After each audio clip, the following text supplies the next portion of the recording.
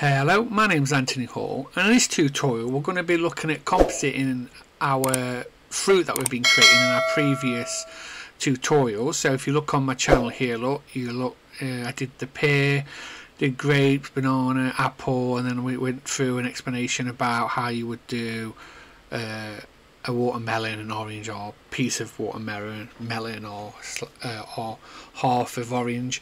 And what we're going to do today is I'm going to show you how to compile it together to come up with uh, some kind of render. So I've put I've put a basic render together. I won't say it was amazing, but all I've done is drag them all in. I'll give you this preset uh, bowl. Go through how I set the scene up, dragged everything in, and literally did a render. Put a few lights on, so you get something like this fairly quickly but obviously you got to remember that I did the fruit quite quickly. I've used textures that I just found randomly. So it could be a lot better but it's a good starting point. So let's get started.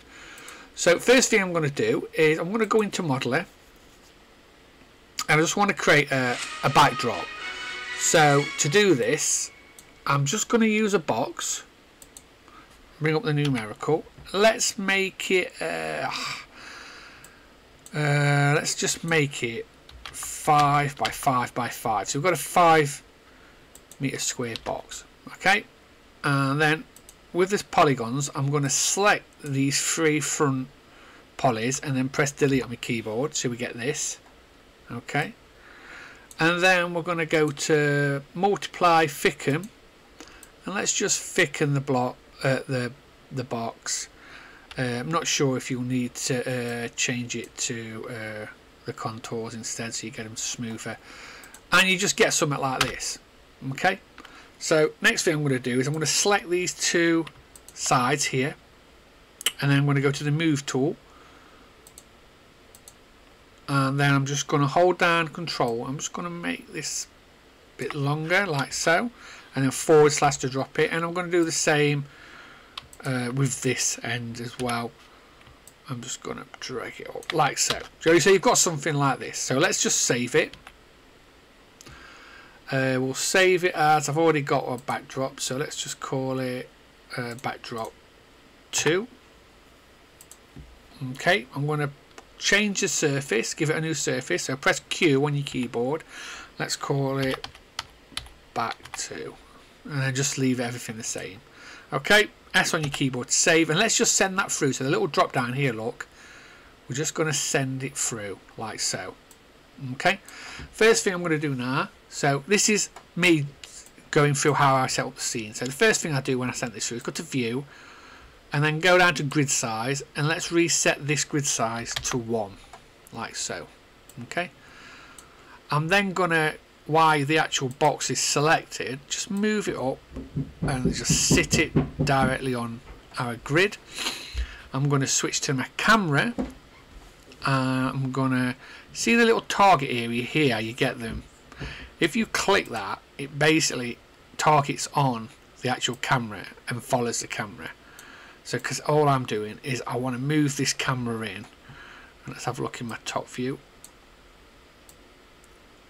I'm just going to move it in. Let's move it up. And then I'm going to Y on your keyboard. When you're using the rotate tool so I'm using rotate you can click directly in and rotate around the actual like so the actual uh, scene. So again what we want to do is we want to find uh, a shot of our actual scene using the camera but I'm going to leave it like it is for the time being. If we just have a look at our properties I'm going to change some of this just why I'm working on this. So kind of a low res. Leave everything else 720p I'm going to change the 8 to 4 the threshold to I'll change that to 0.1 and that'll be okay for that. Let's go to the render tab properties. Uh, render we'll change the bounce to 4 leave all these the same. Uh, let's change where it says polygon intersection mode to faster. And we'll leave everything else the same there. I'm going to tick untick enable global illumination like so. And then let's just turn on VPR this is what we've got let's have a look at the lights. So you get your default distant light which I ain't going to use so I'm going to turn this off. I don't want to use that. I'm just going to turn all the stuff off. Uh, if you want you can just turn it completely put zero in there. So I'm not using that all. We'll go to environment light. Uh, I don't want to use the global independence I don't want to use the lights I've got. So it should you should have this. Now what I want to do is add a HDRI so I've got a HDRI which I got from uh, I think it's Polyhaven or Haven or something like that. I'll put a link in the description to get it, but I'll also put it in the contents folder that I'm going to provide with all the fruit if you haven't modelled them. So let's right mouse click in this little box and where it says add, we're going to add a textured environment. Double click, texture button, which brings up this, and we're going to add a spherical image through the Y, and then we're going to load it in, and in, in the images there's a HDRI for a studio country house one. Okay so let's add that and then you'll get this look. Like so.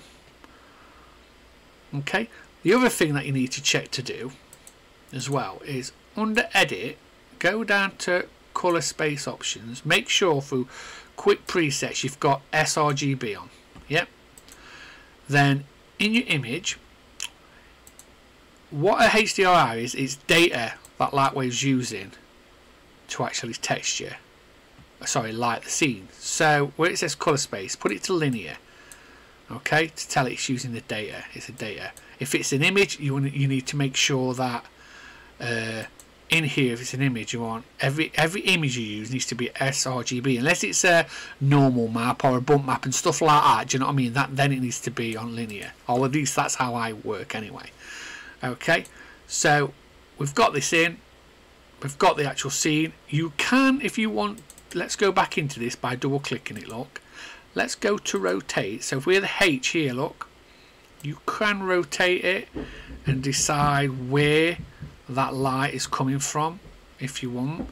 If you want to have a look exactly where it is let me just move this out of the way. If you do turn on VPR in your uh, perspective view and let's have a look around. You can see the actual scene. Like so if you're wondering where light sources are. So what I'm going to do now I did turn off the uh, distant light. I don't want that. What I'm going to do is go to item. I'm going to go to lights I'm just going to add an area light. Let's call this uh, window 1 okay like so. And it puts it in the middle of the scene. So let's pull this up. Now opposite this scene so over this way where I'm going towards is where there was a, a kitchen light. So I'm gonna add this as if it's part of the kitchen light. I'm also going to while I'm on it so I'm only going to pull it to about here.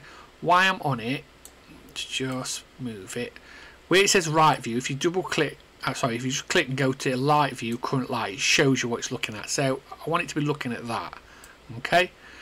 Uh, let's just make it bigger. So modify size uh, make it bigger. Let's turn VPR on.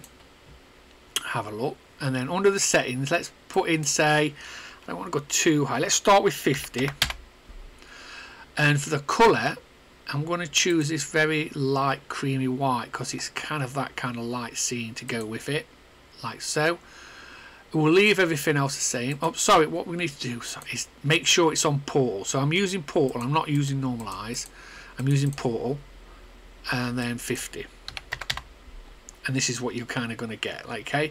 So it's probably a little bit too bright but you can adjust that and we can adjust it uh, later on if we wish or we can, you know what I mean? So you can adjust it. But also it looks bright because if I shift click on the actual texture of the backdrop like so uh, let's put smoothing on.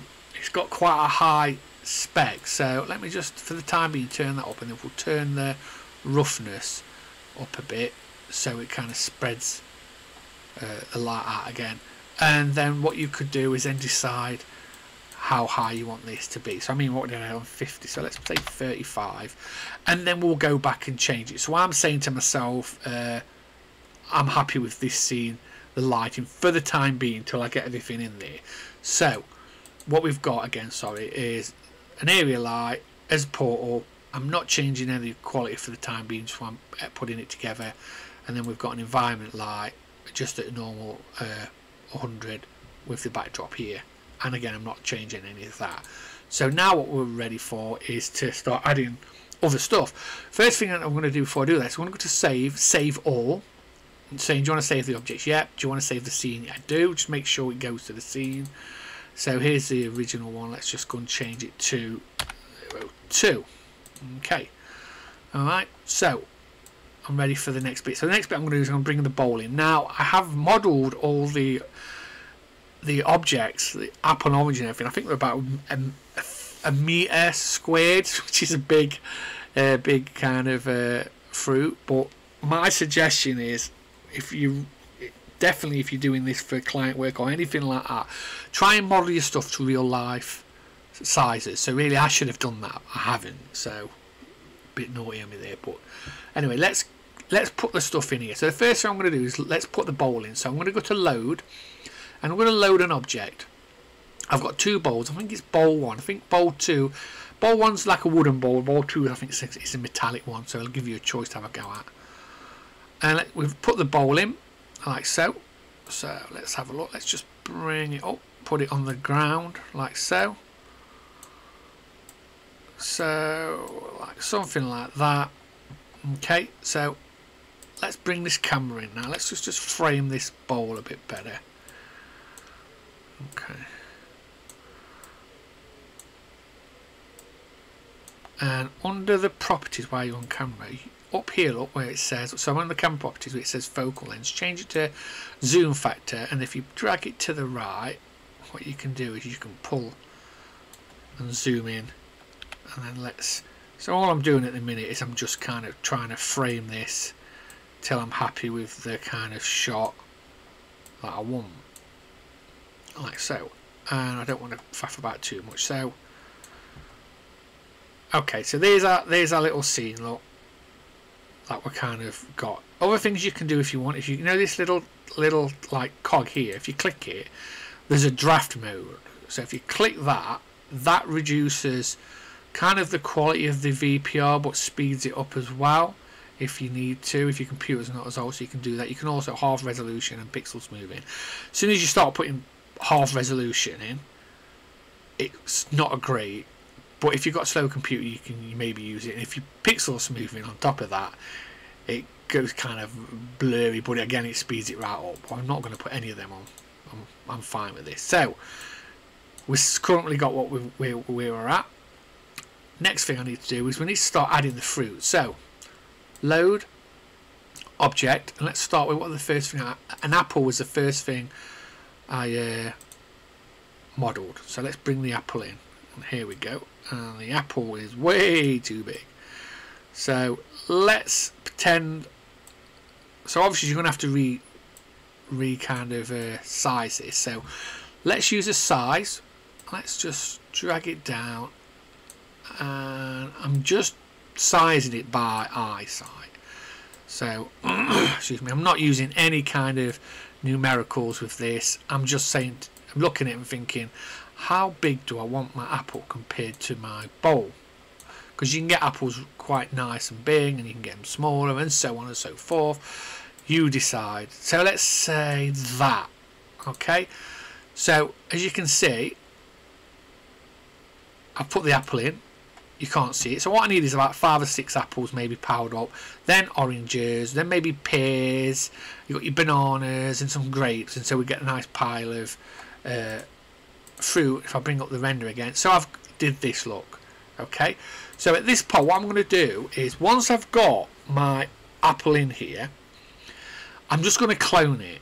So to do that, under the item tab, I go to where it says clone, clone the current item how many I'm just going to do one do one at a time and I'm going to pull up another one and I'm just going to plonk it and if I use again use the actual rim to show where it is and the one below it now if you're just doing a, a flat straightforward render if the one below it isn't going to be in the shot, it don't need to be in there. No one's going to know. So you could just say, well, yeah, um, it's not going to be in the shot, is it? So let's just bring it up like so. Now, also, when you clone it, it's cloning everything. So if you was to change the texture on one apple, it will change it on this one as well. If you was to go to modeler and change that model, it will change it on this one.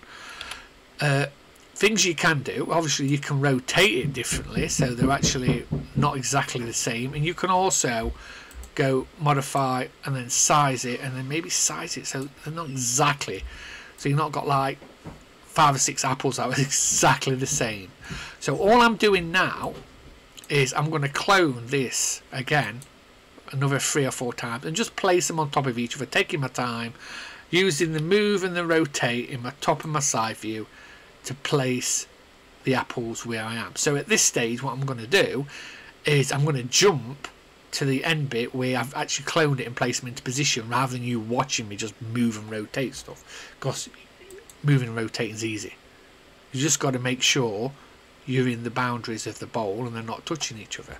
So I've jumped. Okay, so I've done that. I've gone and put some uh, apples. I think I've done about five or six, and you can see they're all here, piled on top of each other, ready to go. The only thing I did was I thought the apples were a bit too shiny, so under the apple body, I've decreased the specularity and in, and, and, and dragged up the roughness so it spreads the specularity out a bit more, making it not as shiny. So you've not got. A, I mean, you can have it shiny as you want, but it's not going to look that realistic so I've just done that really so next bit let's bring some oranges in now I'm going to do it the same way however when you go to load instead of load object go to load object layer. The reason I'm doing this let's pick the orange is because there's more than one layer. There's a half of orange which I don't want to use yet and there's the full main orange. So do the uh, load object layer and choose the, the main orange and let's bring it through. It's probably going to be big again. Yep. So again, what you've just got to do is let's just bring it into the scene. Uh, and you can see roughly uh, what I mean about some of the textures. I mean, if you get the better textures, the better it's going to be. Now, again, oranges are all random sizes, so depending what kind of oranges you want. So let's have a look at the size of this to the apples. I'm going to go with that. You can decide. And again, like before once I've moved into position I'm going to clone it item clone current object 1 and then you can move it and place it you know what I mean? Place it where you want. You can manipulate the uh, size of it just make sure it's not overlapping.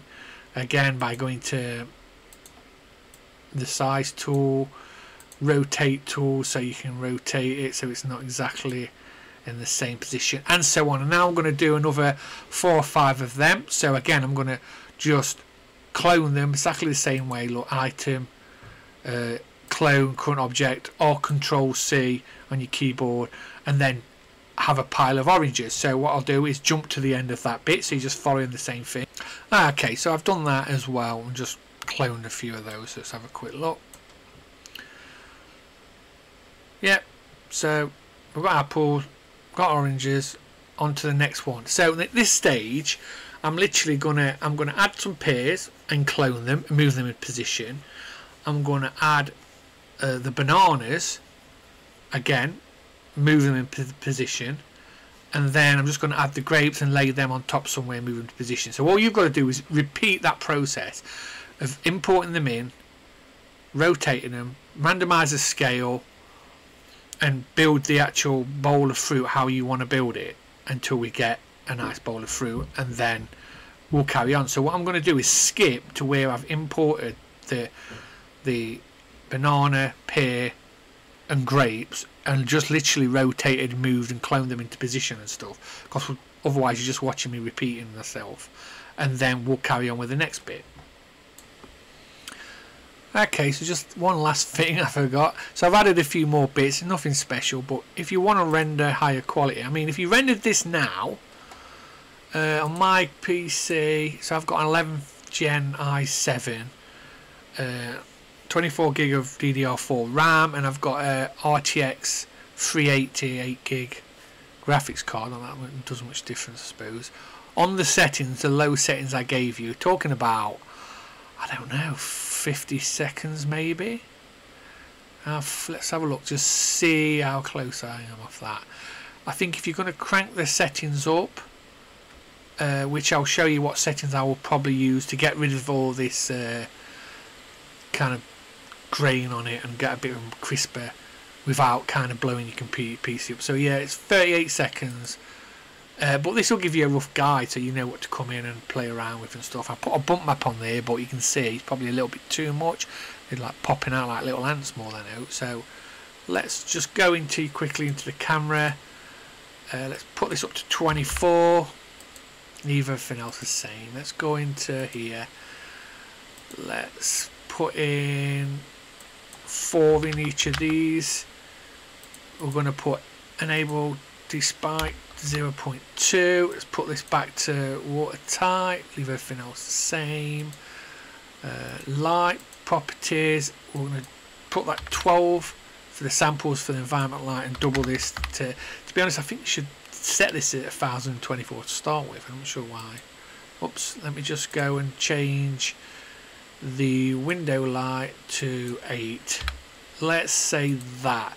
So I'll render this and see how much this will take